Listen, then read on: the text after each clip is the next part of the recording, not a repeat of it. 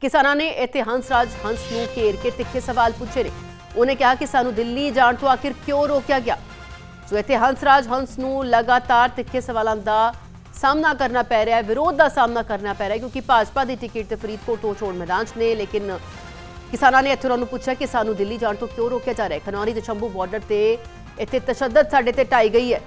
ਸੋ ਜੇ ਵਿਚਕਾਰ ਉਹਨਾਂ ਨੇ ਹੰਸਰਾਜ ਹੰਸ ਨੂੰ ਘੇਰਿਆ, ਮੈਂ ਹਮੇਸ਼ਾ ਕਿਸਾਨਾਂ ਦੇ ਹੱਕ ਦੀ ਹੀ ਗੱਲ ਕੀਤੀ ਹੈ ਹੰਸਰਾਜ ਹੰਸ ਆਪਣੀ ਸਫ਼ਾਈ 'ਚ ਕਹਿੰਦੇ ਨਜ਼ਰ ਆਏ। ਕਿਸੇ ਵੱਲੋਂ ਵੀ ਬਦਸਲੂਕੀ ਕਰਨਾ ਗਲਤ ਹੈ, ਇਹ ਹੰਸਰਾਜ ਹੰਸ ਨੇ ਇੱਥੇ ਬਿਆਨ ਦਿੱਤਾ ਹੈ। ਦੱਸਦੇ ਕਿ ਜੈਤੋ ਮੀਟਿੰਗ ਲਈ ਪਹੁੰਚੇ ਸਨ ਹੰਸਰਾਜ ਹੰਸ। ਫਰੀਦਕੋਟ ਤੋਂ ਭਾਜਪਾ ਦੇ ਉਮੀਦਵਾਰ ਨੇ। ਲੇਕਿਨ ਲਗਾਤਾਰ ਜਿੱਥੇ ਵੀ ਉਹ ਚੋਣ ਪ੍ਰਚਾਰ ਲਈ ਜਾ ਰਹੇ ਨੇ, ਖਾਸ ਤੌਰ ਤੇ ਪੰਜਾਬ ਦੇ ਪਿੰਡਾਂ ਵਿੱਚ, ਤਾਂ ਉਹਨਾਂ ਨੂੰ ਖਾਸੇ ਵਿਰੋਧ ਦਾ ਸਾਹਮਣਾ ਕਰਨਾ ਪੈ ਰਿਹਾ ਇਸ ਤੋਂ ਪਹਿਲਾਂ ਉਹਨਾਂ ਦੇ ਵੱਲੋਂ ਜੋ ਦਿੱਲੀ ਦੀ ਟਿਕਟ ਉਹਨਾਂ ਦੀ ਕੱਟ ਕੇ ਫਰੀਦਕੋਟ ਤੋਂ ਪਾਰਟੀ ਨੇ ਚੋਣ ਮੈਦਾਨ 'ਚ ਉਤਾਰਿਆ। ਲੇਕਿਨ ਉਹਨਾਂ ਨੂੰ ਖਾਸਾ ਵਿਰੋਧ ਦਾ ਸਾਹਮਣਾ ਕਰਨਾ ਪੈ ਰਿਹਾ ਔਰ ਇਸੇ ਤਰ੍ਹਾਂ ਦਾ ਵਿਰੋਧ ਭਾਜਪਾ ਦੇ तमाम ਉਮੀਦਵਾਰਾਂ ਨੂੰ ਜਿਹੜੇ ਕਿ ਪਿੰਡੂ ਇਲਾਕਿਆਂ ਵਿੱਚ ਚੋਣ ਪ੍ਰਚਾਰ ਲਈ ਜਾ ਰਹੇ ਨੇ ਤਾਂ ਕਿਸਾਨਾਂ ਵੱਲੋਂ ਕਾਲੇ ਝੰਡੇ ਵਿਖਾਏ ਜਾ ਰਹੇ ਨੇ ਤਿੱਖੇ ਸਵਾਲ ਉਹਨਾਂ ਨੂੰ ਕੀਤੇ ਜਾ ਰਹੇ ਨੇ ਕਿ ਕਿਸਾਨੀ ਅੰਦੋਲਨ ਨੂੰ ਲੈ ਕੇ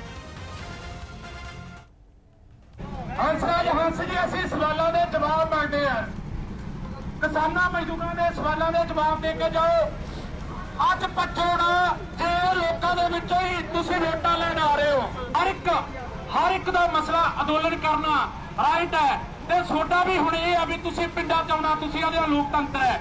ਜਿਹੜੇ ਕਿਸਾਨ ਦਿੱਲੀ ਵੱਲ ਜਾ ਰਹੇ ਸੀ, ਕਿ ਉਹ ਇਸ ਧਰਤੀ ਦਾ ਹਿੱਸਾ ਨਹੀਂ ਸੀ? ਉਹਨਾਂ ਤੇ ਬੈਰੀਗੇਟ ਕਰਤੇ, ਕਿੱਲ ਗੱਡਤੇ ਤੁਸੀਂ ਅੱਜ ਇੱਥੇ ਆਇਓ ਸਾਡੀ ਵੇਖੋ ਕਿੰਨੀ ਘੇਰਾਬੰਦੀ ਕੀਤੀ ਹੈ। ਸਾਨੂੰ ਸਵਾਲ ਨਹੀਂ ਕਰ ਸਕਦੇ। ਜਦੋਂ ਤੁਸੀਂ ਵੋਟਾਂ ਦੇ ਦਿਨਾਂ ਦੇ ਵਿੱਚ ਅਸੀਂ ਤੁਹਾਨੂੰ ਪੁੱਛ ਸਕਦੇ ਹਾਂ, ਸਾਡਾ ਰਾਈਟ ਹੈ ਕਿ ਸਾਡੀਆਂ ਜਿਹੜੀਆਂ ਮੰਗਾਂ ਨੇ ਕਿਤੇ ਕਿਸਾਨਾਂ ਮਜ਼ਦੂਰਾਂ ਦੀਆਂ? ਹੰਸ ਜੀ, ਜੇ ਲੋਕ ਰਹਿਣਗੇ ਤਾਂ ਫੇਰ ਹੀ ਰਾਜ ਕਰੋਗੇ। ਮੇਰੀ ਸੁਣ ਲਓ ਤੇਰੀ ਬੇਨਤੀ ਸੁਣਨਾ ਜਿਹੜੀ ਗਲਤ ਗੱਲ ਹੋਈ ਹੈ, ਉਹ ਗਲਤ ਗੱਲ ਹੈ।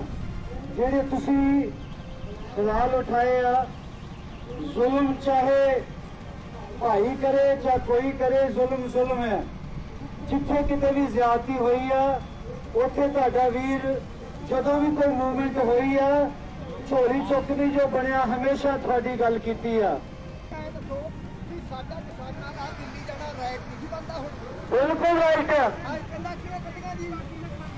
ਜਿਹੜੀ ਉੱਥੇ ਦੀ ਗਲਤੀ ਹੋਈ, ਉਹਦੀ ਮੈਨੂੰ ਮਾਫੀ ਨਹੀਂ ਮੰਗਣੀ ਚਾਹੀਦੀ, ਪਰ ਉਹਨਾਂ ਦੇ ਬਿਹਾਰ ਤੇ ਮੈਂ ਮਾਫੀ ਮੰਗਦਾ ਸਾਡੇ ਸਾਡੇ ਕਿਸਾਨ ਦੀਆਂ ਅੱਖਾਂ ਗਈਆਂ ਮੈਂ ਕਿਹਾ ਮੈਂ ਗੱਜਿਆ ਕਰੂੰਗਾ ਪਾਰਲੀਮੈਂਟ 'ਚ ਇੱਕ ਵਾਰੀ ਯਕੀਨ ਤੇ ਕਰ ਲਓ।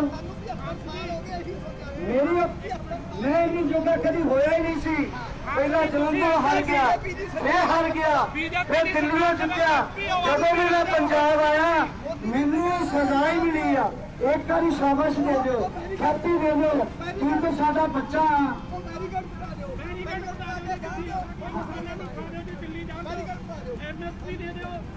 ਉਹ ਮੈਂ ਉਹੀ ਗੱਲ ਕਰਾਂਗਾ ਜਿੰਨੀ ਕੁ ਜੋਗਾ ਮੈਂ ਹੈਗਾ ਆ। ਕੱਲ ਨੂੰ ਵੀ ਮੈਂ ਤੁਹਾਡੇ ਮੱਥੇ ਲੱਗਣਾ। ਜਦੋਂ ਮੇਰੇ ਕੁਝ ਪੱਲੇ ਆ ਗਿਆ, ਮਾੜੀ ਮੋਟੀ ਪਾਵਰ ਜੀ ਆ ਗਈ, ਤੇ ਫੇਰ ਮੈਂ ਐਮਪੀ ਮੈਂ ਤੁਹਾਡੇ ਕਦੀ ਖਿਲਾਫ ਨਹੀਂ ਬੋਲਿਆ। ਮੈਂ ਪਾਰਲੀਮੈਂਟ 'ਚ ਕਿਹਾ ਸੀ ਕਿ ਸਾਨੂੰ ਪਹਿਲਾਂ ਪੁੱਛ ਲੈਂਦੇ। ਸਾਨੂੰ ਪਹਿਲਾਂ ਪੁੱਛਦੇ ਕਾਨੂੰਨ ਬਣਾਉਣ ਤੋਂ। ਕੀਤਾ ਗੋਲ ਉਹ ਗੋਲ ਦੀ ਗੱਲ ਕੱਟ ਕੇ ਤੁਹਾਨੂੰ ਸੁਣਾਈ ਜਾ ਰਹੀ ਅੱਗੇ ਤੋਂ ਪਿੱਛੋਂ। ਤੁਹਾਡਾ ਭਰਾ ਕਦੇ ਵੀ ਹੰਕਾਰ ਚ ਨਹੀਂ ਬੋਲਿਆ।